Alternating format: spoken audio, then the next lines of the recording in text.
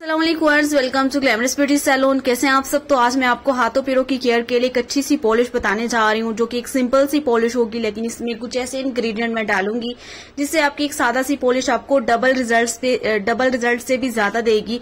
क्योंकि पॉलिश तो आप कर लेते हैं, जो कि आपको इजिली मार्केट से मिल जाती है, लेकिन आपको ये नहीं पता होता कि इसमें मजीद कौन से इंग्रेडिएंट ऐड करने होते हैं, जिससे आपकी ब्लीच रिज़ल्ट उससे भी कई डबल दे सकती है। तो आपने आज की वीडियो में देखना है कि मैं पॉलिश किस तरह करती हूँ अपने हाथों पैरों के लिए क्योंकि ये वाली पॉलिश जो है आपको इजीली मिल जाएगी। मैं यहाँ पे क्रीम ब्लीच इस्तेमाल कर रही हूँ सॉफ्टेस्ट की, और ये आपको मार्केट से इजीली मिल भी जाती है, और इसकी प्राइस भी इतनी ज़्यादा नहीं है। ये जम्बो साइज़ आप इजिली छह सौ की ले सकते हैं, और ये आपकी दो महीना, तीन महीना इजिली चल जाएगी, और इसके रिज़ल्ट भी बहुत ही अच्छे हैं, बहुत ही ज़्यादा अच्छे हैं।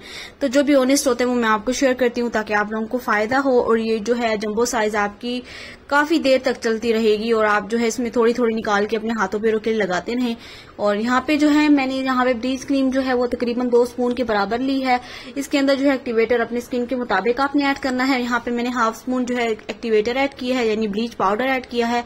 और इसके बाद जो है, जो नेक्स्ट इंग्रेडिएंट इसमें जाएँगे, जो कि आपके हाथों की मजीद ब्लीचिंग करेंगे, और इसमें नेचुरल ब्लीच भी होता है, जो कि आपके हाथों की सफ़ाई करता है नेल्स को साफ़ करता है।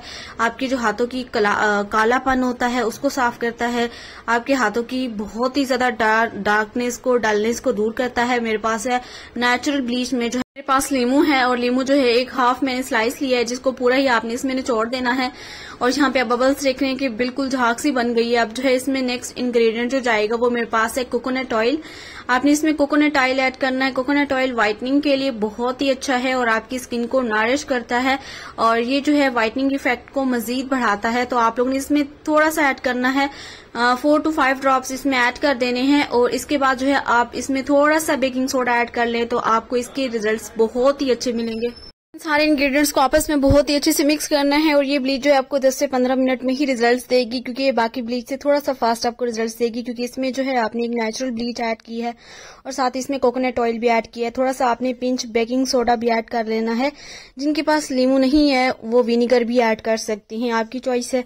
और यहाँ पे इसको अच्छे से मिक्स करने के बाद जो है आपने इसको अपने हैंड फीट पे इस्तेमाल करना है। हैंड फीट पे तकरीबन लगाने के बाद जो है आपने पंद्रह से बीस मिनट का वेट करना है और उसके बाद जो है आपने इसको अच्छे से मसाज करके ही रिमूव करना है। अगर आपको लगे कि आपकी ब्लीच थोड़ी सी ठीक है तो आपने इसमें मजीद थोड़ा सा लेमन जूस ऐड कर देना है। तो दोबारा से इसको अच्छे से मिक्स करना है और ये जो ब्लीच है, आपकी इतनी गाढ़ी और इतनी थिक बनेगी कि आपने आप जो है इसको अपने हाथों पैरों पे जब भी इस्तेमाल करेंगे तो आपके हाथों इतनी कोई क्लीन होंगे, आपके नेल्स क्लीन होंगे, आपके जो नेल्स के साइड्स नकल्स बहुत ही डार्क होते हैं। उनको क्लीन करेगा और ये ब्लीच आपको बहुत ही अच्छे रिजल्ट्स देगी। तो इसको जो है आप वीक में एक से दो बार कर सकते हैं, कोई भी इसका साइड इफ़ेक्ट नहीं है। और आपके हाथ जितने भी डार्क होंगे, जितने भी पैची हाथ होंगे, उनको बहुत ही नीट कर देगा। अब आपने जब भी ब्लीच करनी है तो इसी तरीके से करनी है ताकि आपको ब्लीच के रिज़ल्ट बहुत ही अच्छे मिल सकें। तो ये थी आज की वीडियो अगर आपको मेरी वीडियो पसंद आई हो तो वीडियो को लाइक कर दें। चैनल को भी सब्सक्राइब कर दें। नेक्स्ट वीडियो मिलेंगे, तब तक के लिए अल्लाह हाफिज़।